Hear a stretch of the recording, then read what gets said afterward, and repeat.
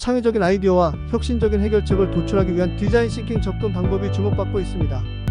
더 자세한 내용을 알아보겠습니다.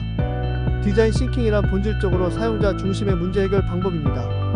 다양한 산업과 영역에서 창출되는 복잡한 문제들을 해결하기 위해 디자인 thinking은 디자이너의 사고방식을 빌려온 것입니다.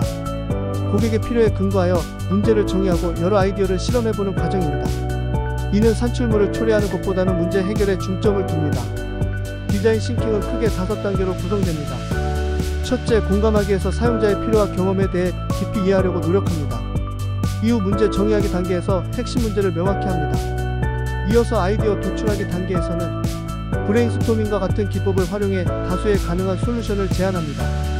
이 아이디어들을 기반으로 prototyping 단계에서 간단한 모형을 만들어 테스트하고 이를 통해 배운 내용을 토대로 솔루션을 완성하는 테스트 단계로 넘어갑니다.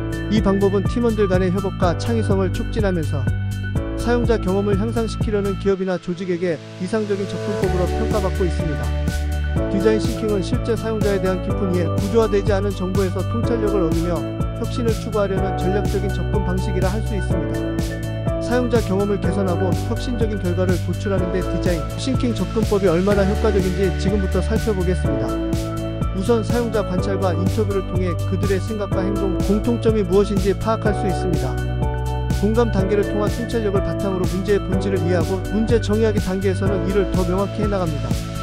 다음으로 진행되는 아이디어 도출 단계에서는 브레인스토밍을 비롯한 다양한 창의적 기법들을 사용하여 해결책을 모색합니다.